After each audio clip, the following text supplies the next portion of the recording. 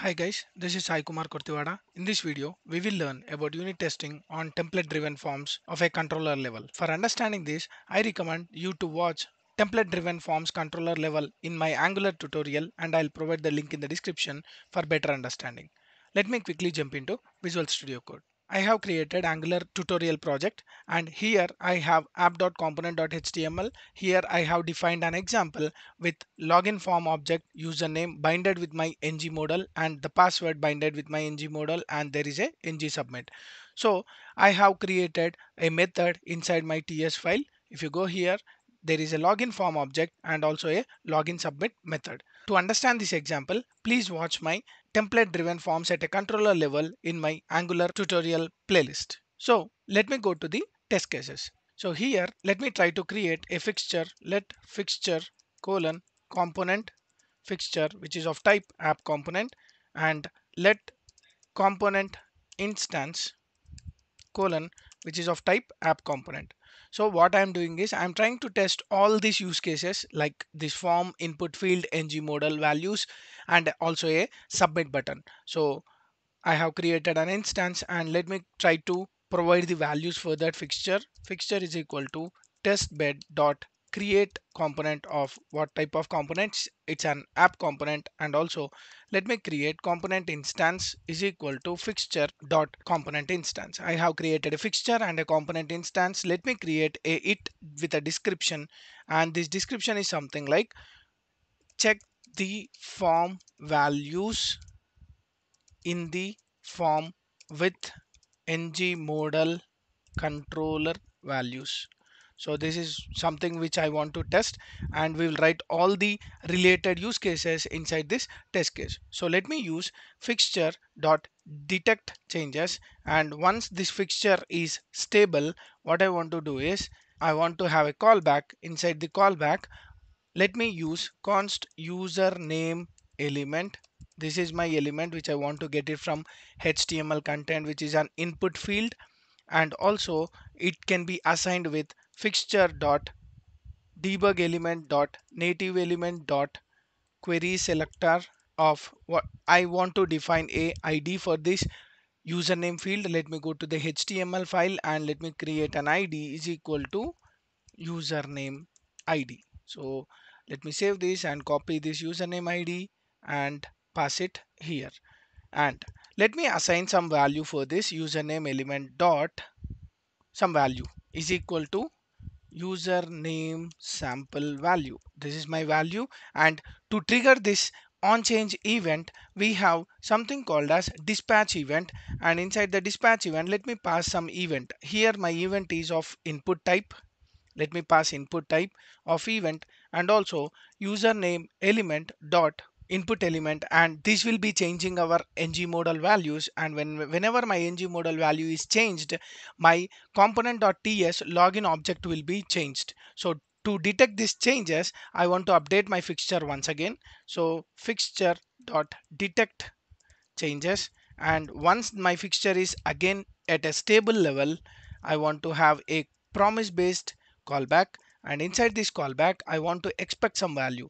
Expect of component instance dot login form object dot username should be equal to the value which I was triggered whenever my input has been changed. That means username sample. Let me pass this username sample semicolon. And as we are using the form related stuff let me import forms module into my imports section of configuration testing module so here I have been expecting one value that is username element value and let me hit ng test.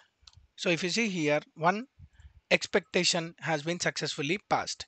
In the same test case I can use one more element. Let me minimize this and let me write some more test cases. I have zoomed out and const password element colon it's an html input element and it is equal to fixture dot debug element dot native element dot query selector of what is my query selector? I need to pass an id let me give hash password id let me copy this password id and let me define for that particular input field. Id is equal to password id let me save this and go to the spec file.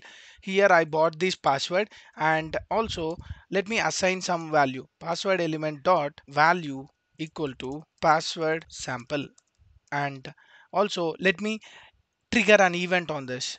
Password element dot dispatch event of new event which is of type. Again it's an input type. And once my updation has been happened on my fixture let me expect the value.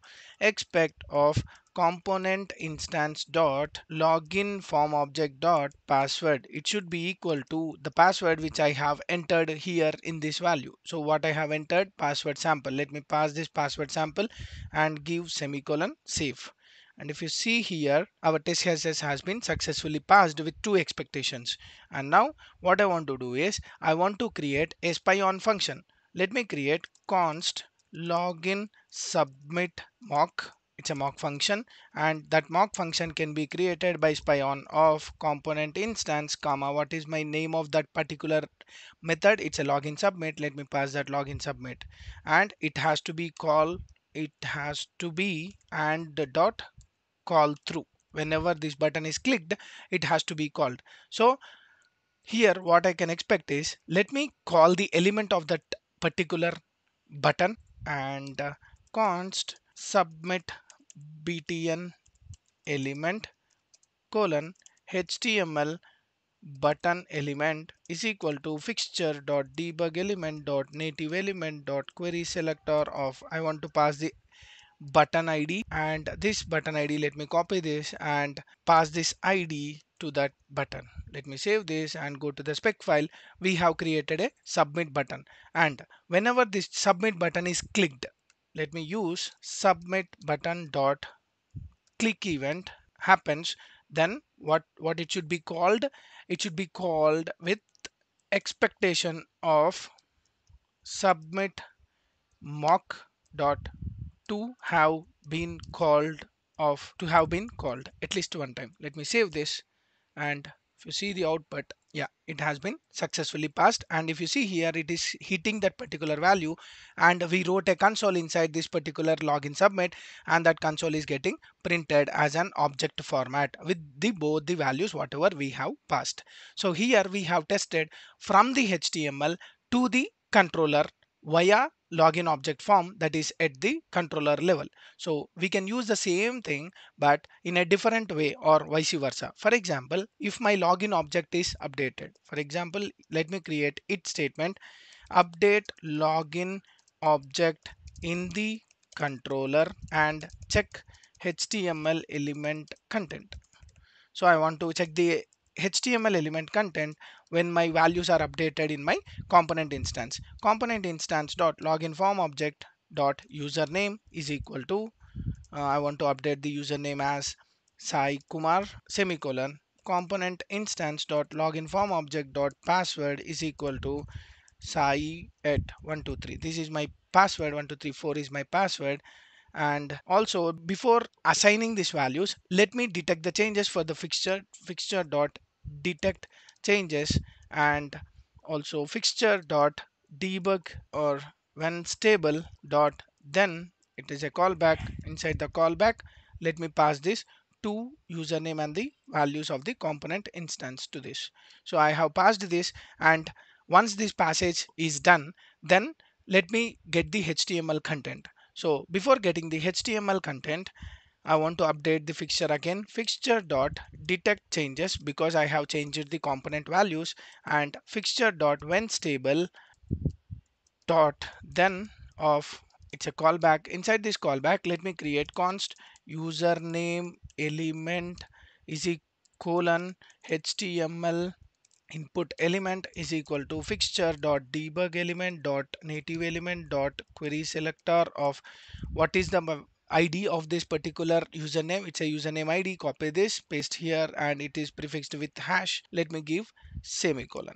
And also let me get the value for password element password element colon html input element is equal to fixture dot debug element dot native element dot query selector of my password element.